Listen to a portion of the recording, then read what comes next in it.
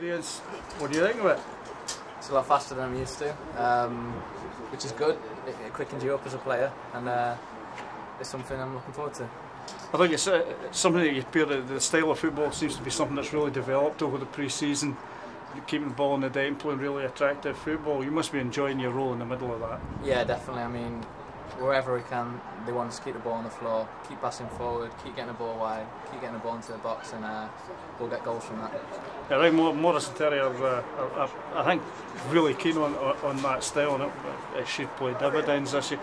Are you getting used to the, the? Are you getting used to being up in Inverness now? Is it? Yeah, yeah. I feel settled up here. Um, I feel happy with my football. I feel happy with all the lads. Uh, it's a good system we play, and uh, it's something I think I can adapt to. Great.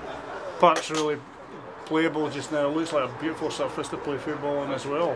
Yeah, it's really good. Uh, I've trained in it a couple of times. We didn't have a game pre-season, of course, but uh, it's lovely to play on. Um, ball moves well on it, and uh, I think we'll do well in it.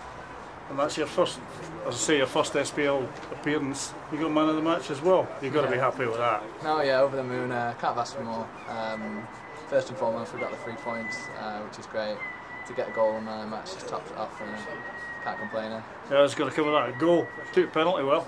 Yeah, yeah. Uh, had to respot it, but uh, nah, I had my, I had my spot and uh, stuck to it uh, keeper keeper can get to it. So I think last last season we had Billy McKay taking penalties. How on earth did you get him out of the way? oh, Gaffer's call, so uh, he says uh, what he says goes. So I was more than happy to take the penalties and uh, hopefully I can keep scoring. That's good. I wouldn't argue with him either. James, thanks very much indeed. Thank Cheers. You. Cheers.